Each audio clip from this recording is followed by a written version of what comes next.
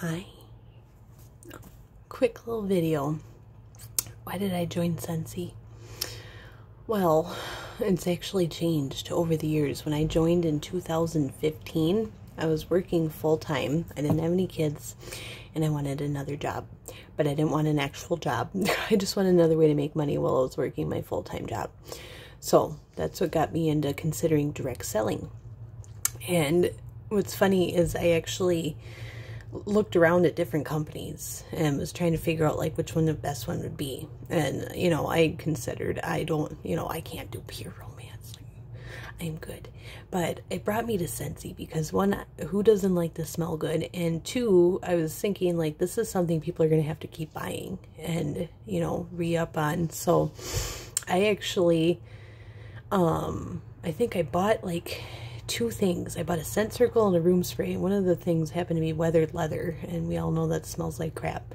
Uh, and I actually, and I still joined. I was like, whatever, this is some nice stuff because I did like the room spray. Bought Clean Breeze.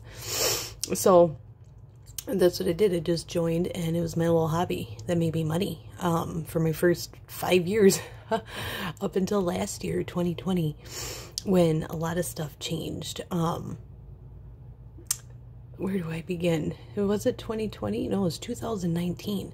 2019. We were in my house here, and it was um, three weeks before my wedding, um, and we had a house fire. So we lost everything. We lost um, our home, our pets, the house. It really just, we lost it to smoke damage, but um, it wasn't a fun experience. So I really didn't work my business for like the next year while we were rebuilding the house and we were in an apartment and I just wasn't, my heart wasn't there. You know, it just, I, I wasn't in a good place. Um, but about a year later, after they finished putting our house together and everything, and we're getting set to move home, that same week we moved home is when COVID got really bad and my daycare closed. And so I didn't have daycare and I'm trying to move home and then my boss was laying people off and he actually just asked me, do you want to be furloughed? I was like, yes, please. Um, and it kind of worked out perfectly. And then shortly after that is when I started doing this Leap to Lead program. And all of a sudden my business just did a 180 and that's when I had my aha moment.